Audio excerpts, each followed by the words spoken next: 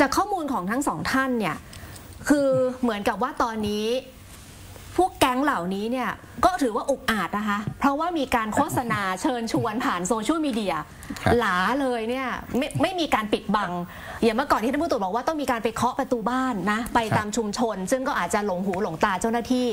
แต่ว่าตอนนี้เนี่ยโฆษณาผ่านสื่อโซเชียลเลย เรียนถามท่านท่านผู้การค่ะว่า เรามีการทำงานเชิงรุกในการไปตรวจสอบกับ กับเพจเหล่านี้ไหมคะเพื่อที่จะได้ป้องกันเอาไว้เบื้องต้นเนี่ยค่ะ คือลักษณะเพจพวกนี้นะฮะเขาจะเปิดเปิดเร็วเมื่อได้เงินเหมือนเหมือนที่ท่าน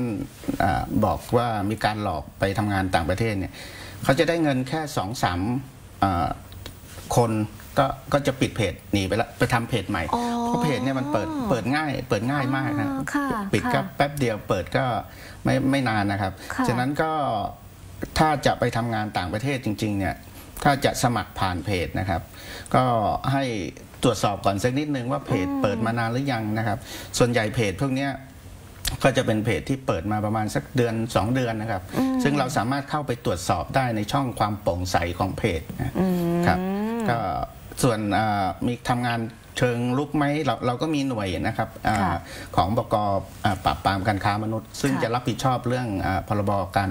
จัดหางานนี้ด้วยนะครับ ซึ่งอยู่ของบชกเขาก็จะมีเจ้าหน้าที่ที่คอยตรวจสอบ ถ้าเพจไหนที่ที่เริ่มมีการหลอกเยอะๆแล้วเนี่ยเขาจะเข้าเข้าดำเนินการนะครับ แต่ค่ะปัญหาส่วนใหญ่ก็ก็จะเกิดจากตรงนี้แหละก็คือ พอหลอกได้ สองสามรายปุ๊บก็เปลี่ยนเพจละอ่าปิดแล้วครับเปิดใหม่ครับครับค่ะ แต่ทีนี้ในแง่ของของการดำเนินคดี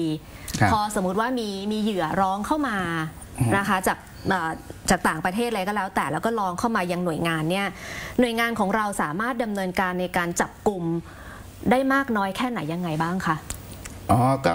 ส่วนใหญ่ร้องเนี่ยเขาจะร้องผ่านมาทางญาตินะครับค่ะเอ่อที่ที่เราช่วยมาจากเอ่อประเทศกัมพูชาเยอะๆเนี่ย ก็จะมีแจ้งมาทางเอ่อญาติแล้วก็ทางญาติก็จะมาร้องที่เอ่อของสำนักงานตำรวจแห่งชาตินะครับ ซึ่งเราก็จะประสานไปที่เอ่อประเทศนั้นๆนะครับค่ะซึ่งก็กัมพูชานี่ก็ช่วงปีที่แล้วเนี่ยก็ให้ให้ความร่วมมือค่อนข้างดีนะครับ ก็มีการเอาเอาออกมาได้ 500 กว่าคนนะครับ ซึ่งก็จะเป็นเหยื่อค้ามนุษย์ที่ถูกบังคับใช้แรงงานนะครับ ก็ค่ะก็ครึ่งหนึ่งอะ อันนี้ก็ฝากเตือนเออพี่น้องประชาชนนะครับที่จะไปทำงานโดยไม่ถูกกฎหมายนะครับ เพราะว่าอันเนี้ยเอ่อไม่ไม่ได้รับอนุญาตเลย แล้วก็เข้าประเทศเขาเนี่ยก็แอบเข้าทางช่องทางธรรมชาติครับอ๋อนี่ก็พวกนี้ก็ผิดจะถูกบังคับตั้งแต่เข้าประเทศเขาละแล้วก็ต้องอยู่ในรถตู้เอ่อค่ะทึบๆไปจนถึงที่ทำงานนะครับแล้วก็จะค่ะถูกยึดทุกอย่างแล้วก็ใช้ชีวิตไม่ไม่ปกตินะฮะค่ะก็มีบางคนที่ที่ไม่ยอมทำงาน ไม่ยอมทำงานเนี่ยเขาก็เอ่อไปขู่ว่าจะจะฆ่านะครับ หรือจะตัดนิ้วทิ้งอะไรเงี้ย ก็ที่มาให้ข้อมูลกับผมเนี่ยก็มีเขาต้อง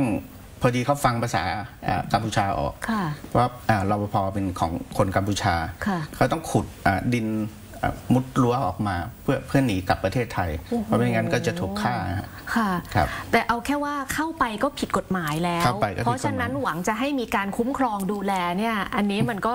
ครับเสี่ยงมากเลยทีเดียวนะคะครับค่ะ